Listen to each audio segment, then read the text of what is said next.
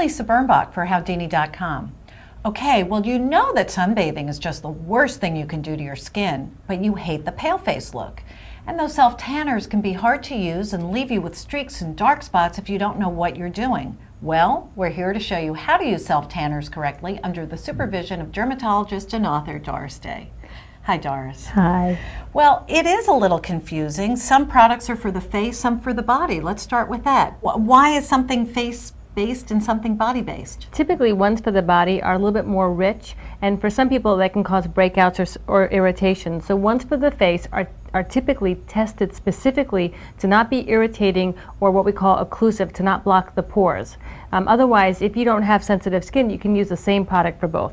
How do you choose a product and not know whether it's going to, you'll never know what color you'll turn?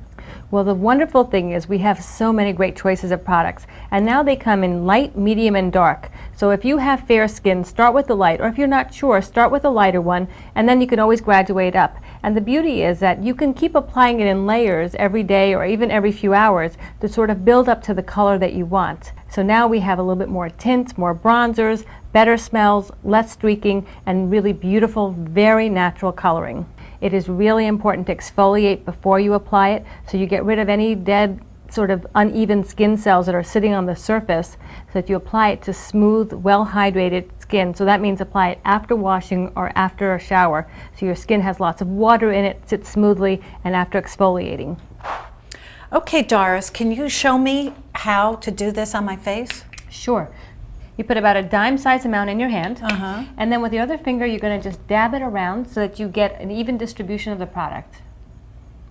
Oh, it's a gel. Yes. So that's nice. And Yeah. because it's tinted, I can see what I'm doing. Okay. Okay, so now once you have that, you can just use the rest of the product or you can wait till the end. And now you're going to go and blend it in so that you have full and even coverage, and you have a little bit left there if you need. Now, I can't tell whether Once it disappears and blends in, then you know you're covered. You want to just get a little bit on the side of your nose. There, that goes perfect. You can tell that this is absorbing, right? It looks great. I can tell completely. Really?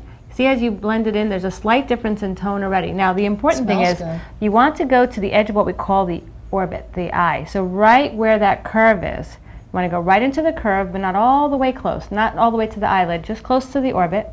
And then along the jawline, you want to go just underneath so that you don't have a line that is a sharp demarcation of where you have the product and where you don't. So you want to blend it down just a little bit. And, and Like what we call feathering it. Exactly. And I can see the difference already. Now with the forehead one, you exactly blend it down towards your temples. Perfect. And don't forget right between your eyes. Oh, yeah. Go all the way out towards your ears. And now you've used all your product. All it takes is about a dime size amount to cover the whole face. And just run your fingers at the end over your upper lip. That's the last place you're going to go. Oh, yeah, I didn't Because you only that. want a little bit there. Right. Ta-da!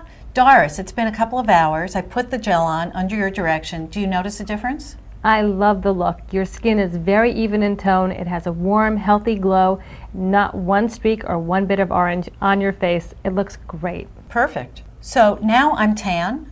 I can build up my tan, and then I have to use sunscreen, right? These sunless tanners do not offer you protection in the color that they give the way a natural tan might. So you definitely have to use sunscreen and reapply it on a regular basis to make sure you protect your skin from those damaging rays of the sun. Oh, those rays, those rays. What are we going to do about them? Thank you so much, Doris.